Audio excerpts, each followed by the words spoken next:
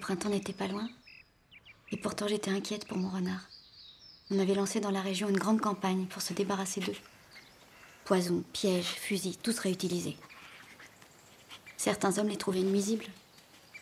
Moi, je les trouvais beaux, fascinants, sauvages, indispensables.